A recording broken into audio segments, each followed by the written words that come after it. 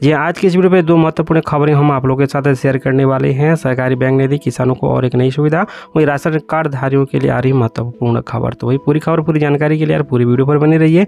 और नए हो तो बिल्कुल चैनल को सब्सक्राइब करके अपना प्यार और सपोर्ट चैनल के साथ बना के रखिएगा। ऐसी लेटेस्ट अपडेट इन्फॉर्मेशन हर रोज पाने के लिए। पहली खबर सहकारी बैंक ने दी किसानों को और एक नई सुविधा। जी हाँ खबरें आ रही है। अपेक्ष बैंक के अध्यक्ष श्री बैजनाथ चंद्राकर ने जांजगीर चांपा ज़िले के शिवरी नारायण में सहकारी बैंक की नवीन शाखा भवन का लोकार्पण एवं नवीन एटीएम का शुभारंभ किया। इस अवसर पर आयोजित किसान सम्मान समारोह में किसानों का सम्मान भी किया गया। यहाँ एटीएम का शुभारंभ होने से किसानों को राशि का आहरण करने में सुविधा उपलब्ध होगी। समारोह में किसानों को एटीएम कार्ड भी जारी किया गया। इस तरह अब कोऑपरेटिव बैंक के किसान यूपीआई सुविधा से जुड़ जाएँगे।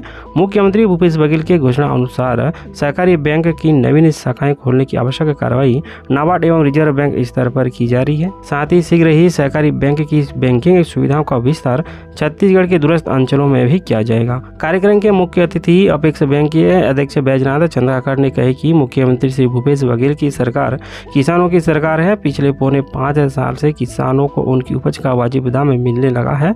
छत्तीसगढ़ में भूपेश बघेल की सरकार बनते ही किसानों का ऋण माफ़ किया गया। साथ ही उन्होंने बताया कि धान का सर्वाधिक मूल्य छत्तीसगढ़ के किसानों को मिल रहा है।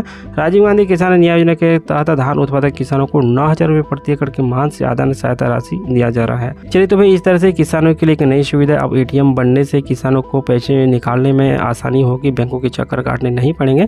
साथ ही राजीव गांधी किसान न्याय योजना के पैसे हो या फिर धान बेचने के पैसे जो सरकारी बैंक के खाता में किसानों को दिया जाता है तो किसान उन पैसों को अब आसानी से निकाल पाएँगे। साथ ही भाई बताया जा रहा है, मुख्यमंत्री भूपेश बघेल की घोषणा अनुसार सरकारी बैंकों की नवीन शाखाएँ खोलने के लिए आवश्यक कार्रवाई किया जा रहा है। साथ ही शीघ्र ही सरकारी बैंक की बैंकिंग सुविधाओं का विस्तार छत्तीसगढ़ के दूरस्थ अंचलों में भी किया जाएगा। और इस तरह से अब कोऑपरेटिव बैंक के किसान यूपीआई सुविधा से जुड़ेंगे और इसका लाभ भी उठा पाएँगे। वैसे किसान भाई सरकारी बैंक की सुविधाओं को लेकर आप लोग क्या सोचते हैं यार? अपना विचार राय भी नीचे कॉमेंट बॉक्स में ज़रूर से बता दीजिएगा।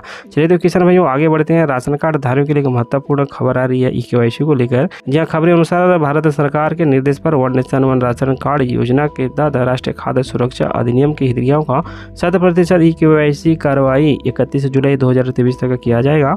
One nation one ration card योजना के पूर्ण क्रियान्वयन के लिए राशन कार्ड के सभी सदस्यों के आधार की जानकारी प्रमाणीकृत होना आवश्यक है। राशन कार्ड में हितग्राहियों के आधार की जानकारी गलत दर्ज होने तथा आधार की जानकारी प्रमाणीकृत नहीं होने के कारण खाद्यान्न वितरण में समस्या बनी रहती है। विभागीय डेटाबेस में जिन हितग्राहियों का आधार दर्ज है, उनके आधार की जानकारी का प्रमाणीकरण ई के की कार्रवाई किया जा रहा है। खाद्य विभाग के अधिकारियों ने बताया कि प्रदेश में संचालित शासकीय उचित मूल्य के दुकानों को प्रदान किए गए ई पास उपकरण में ई के सुविधा उपलब्ध है।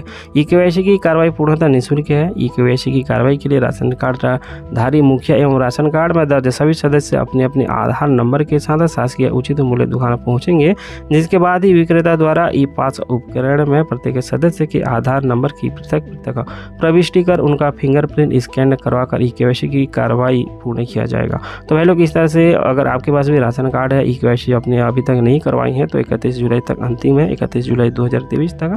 तो भाई, आप अपने क्षेत्र के उचित मूल्य की राशन दुकान पर जाकर सभी सदस्यों का ई के ज़रूर से करवा लीजिएगा। चलिए तो भाई, इस तरह से जो खबरें हैं सामने निकल कर आ रही थी, जो कि हमने आज इस वीडियो पे आप लोगों के साथ शेयर की। उम्मीद करते हैं वीडियो अच्छा लगे तो लाइक कीजिएगा मित्रों को शेयर कीजिए। चैनल को सब्सक्राइब नहीं किया तो वीडियो के नीचे लाल रंग का बटन दिख रहा है, क्लिक करके चैनल को भी सब्सक्राइब ज़रूर से करके रखिए। इस वीडियो पर बस यहीं तक मिलते हैं अगली वीडियो पर और एक नई जानकारी के साथ। तब तक के लिए जय जवाहर, नमस्कार।